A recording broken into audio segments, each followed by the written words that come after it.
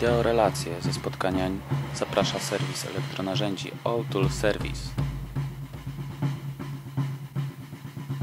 Serwis elektronarzędzi All Tool Service, Krosno, ulica Kletówki 27. Telefon 883 413 759.